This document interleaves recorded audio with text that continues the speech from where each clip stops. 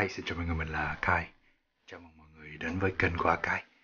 Thì tình hình dịch bệnh bây giờ vẫn đang tiếp tục trở nên quá tồi tệ và tình hình ở Mỹ hiện tại theo mình cập nhật mới nhất là số ca nhiễm Covid-19 đã lên đến con số hơn 46.000 người đã bị nhiễm bệnh và à, đang được cách ly và điều trị y tế một cách uh, cặn kẽ nhất và chi tiết nhất để uh, giúp cho tình hình bây giờ nó được tốt hơn. Thì uh, nơi mình làm và nơi mình học mọi thứ nó đều được làm từ xa rồi thành ra là mình không có lên trường cũng không phải đi học đi làm gì nọ. Thì ở nhà mình cũng không biết làm gì thành ra mình nảy ra ý tưởng là mình sẽ làm một series mới mang tên archive review.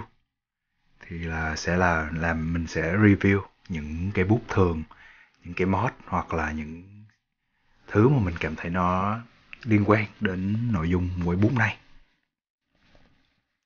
Thì chắc hẳn thì ai là một người uh, quay bút một uh, spinner một pen spinner thì cũng có hứng thú với lại bút từ bút bi bút chì bút uh, lông, các kiểu là tất cả những thứ đều có thể dùng những cái phần của nó để mà tạo thành một cái mod cho người chơi Weibo thì ai cũng thích và tò mò thì mình cũng đoán như vậy thôi.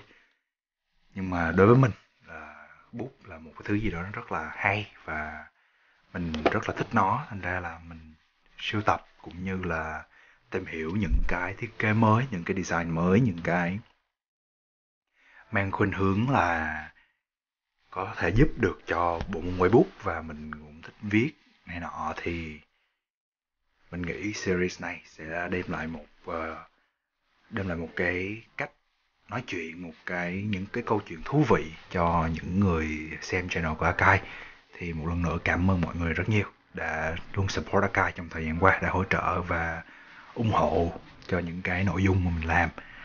Và không chỉ cho nên Ờ, mình không chỉ quay bút nữa mà mình còn sẽ làm ra một series mới. Đó chính là bắt đầu từ ngày hôm nay mình sẽ ra tập 1 của series Archive Review. Thì review cái gì thì cũng tùy vào cái, những cái thứ mình tìm được, cũng như là mình nghĩ là nó là một cái thứ hay và một cái vật mà mình có thể tạo nên một cái nội dung thú vị cho mọi người. Và hy vọng mọi người sẽ thích và nếu có gì đó thì cứ để lại góp ý cho Archive ở phần comment dưới phía dưới và hoặc là mình có thể lên page của Archive Archive uh, gạch gạch nối gạch nối pen spinner để tìm cái page của mình. Thì không nói dài dòng nữa đây chỉ là phần giới thiệu của series mới này và cảm ơn mọi người đã, đã coi đến được đoạn này là cũng có một sự quan tâm nhất định thì ngày hôm nay sản phẩm mình muốn giới thiệu đó chính là Muji một uh, hãng của Nhật. Và Muji đã có một sản phẩm bút lông rất là nhìn rất là đẹp và thú vị. Đó, ở đây là mình sẽ để hình sản phẩm ha.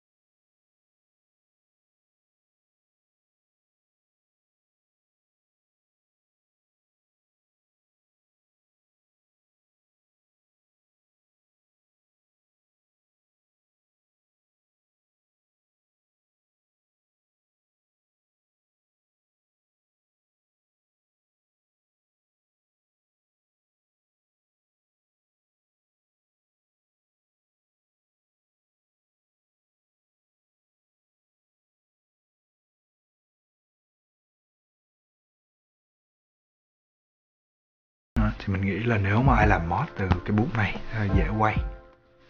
Tại vì cái thân nó độ trơn nó vừa đủ, cũng không bị rít và cũng không bị bám quá nên là cầm rất là dễ chịu, cũng như là cảm giác quay. Nhưng thì đừng có cầm cái cây này quay không, thì nó nhỏ xíu xíu thì làm sao mà quay được. Rồi có tờ giấy ở đây để mình test luôn, đây là đầu bự ha.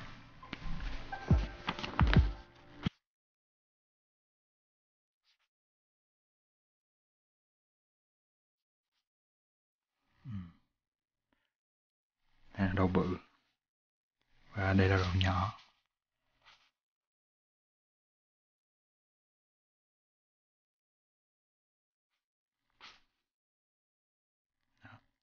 Đầu bự và đầu nhỏ nó rõ ràng. Hai cái nắp nó khác nhau. Thì cũng không nên gắn nắp lộn. Ha mọi người thấy ở đây thì bên trái nó chính là cái đầu lông bút lông bự. Còn cái này là bút lông nhỏ cái ngòi nó nhỏ hơn. Thì cái nét chữ nó nhỏ đi hơn hẳn thì nhìn chung thì cái thân rất là dễ quay.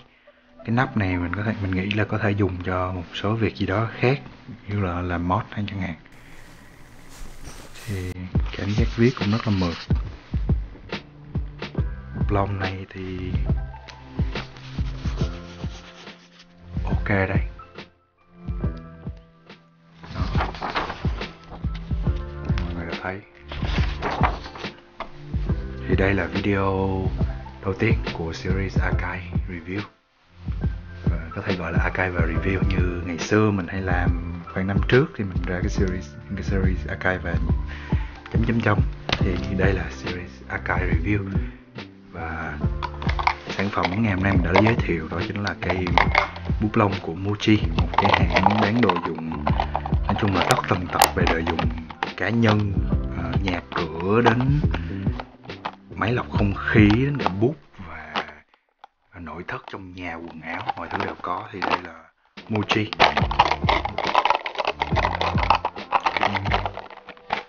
một thứ cũ Nhật.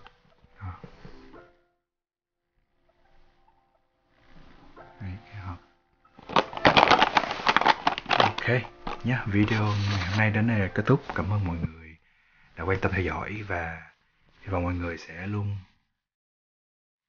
có sức khỏe trong mùa dịch này và mình cũng sẽ uh, cố vượt qua cơn cơn ác mộng covid 19 này vì mọi thứ nó đều đóng cửa rồi đến cả sắp đổ nền kinh tế đi xuống này nọ ảnh hưởng rất nhiều đến con người không chỉ ở Mỹ mà mình nghĩ là ngay cả những nước khác cũng sẽ bị ảnh hưởng rất lớn từ uh, Covid này. Ok, mọi người rất nhiều và hẹn gặp lại mọi người trong những video sau. Bye bye.